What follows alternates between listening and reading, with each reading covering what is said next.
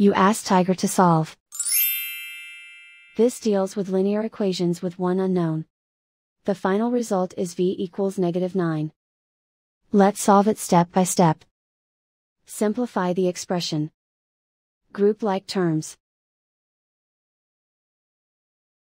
Simplify the arithmetic. Swap sides.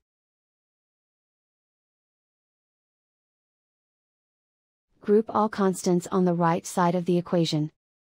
Add 8 to both sides. Simplify the arithmetic.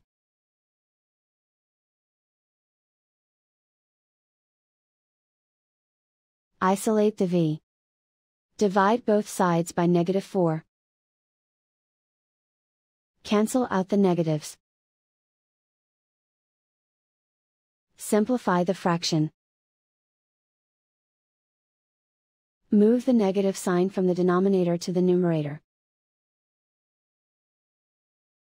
Find the greatest common factor of the numerator and denominator. Factor out and cancel the greatest common factor.